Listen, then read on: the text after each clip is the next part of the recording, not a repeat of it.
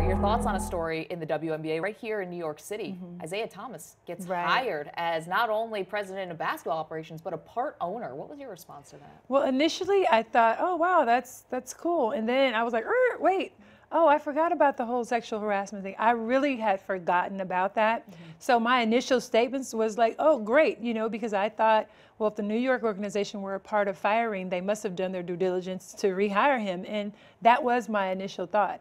Then you get a chance to get all the backlash, you get a chance to do a little bit more homework, and then you realize, oh, wow, this is almost like why would you put him in charge of a women's team when he's had issue with sexual harassment so i feel like the WNBA is in a really tough position yeah. because I don't know that they necessarily had a choice because it sounded like the New York Knicks owner was like, I'll walk or, or else.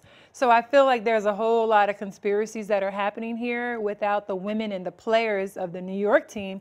Nobody really had a say in it. And that's that's kind of unfortunate and sort of like apropos the fact that we're women and we still don't get a say. Right? I mean, it's got to just make you want to pull your hair out, considering how far women have come, how far the WNBA has yes. come. Now there's a six-person committee that's going to meet. They're going to decide on the fate, I guess, of Isiah Thomas really? what they're going to do. Mm-hmm. What do you think would be fair at this point? Well, I think um, they should have done this before mm-hmm. they allowed him to to get named the president of the team. I'm not sure how you, you backtrack from this other than the fans can really make a change because it's all about money at the end of the day. It's all about support. Um, it's all about sponsors. They could pull out if they so choose.